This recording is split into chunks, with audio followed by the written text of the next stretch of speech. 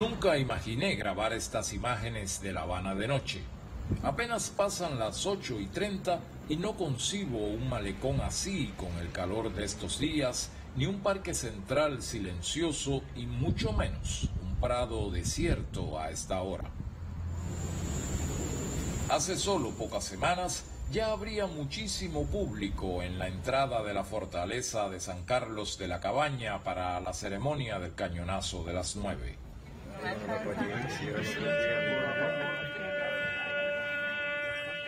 Hasta hace muy poco, cientos de personas de Cuba y todo el mundo venían hasta aquí para ser testigos de un rito de varios siglos convertido ya en patrimonio cultural de la nación.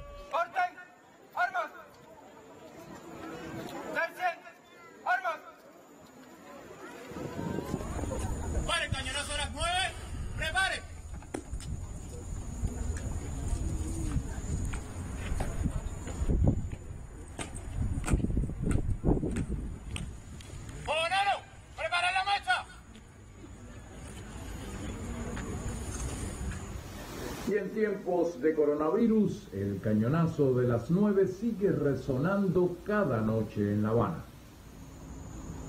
Y la luna salió.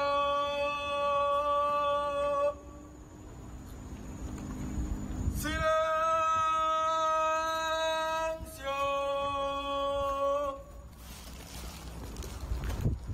Se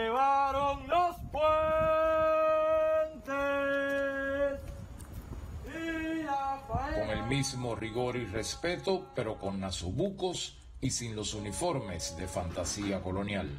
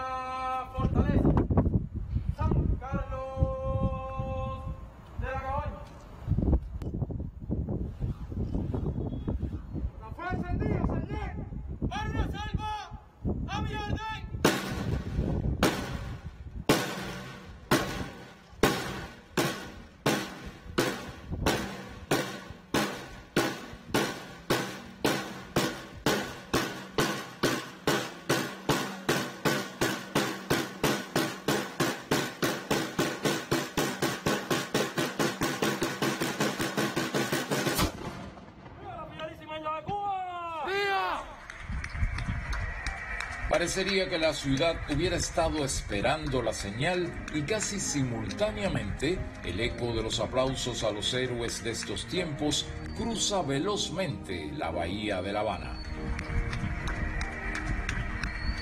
Julio Acanda, Sistema Informativo de la Televisión Cubana.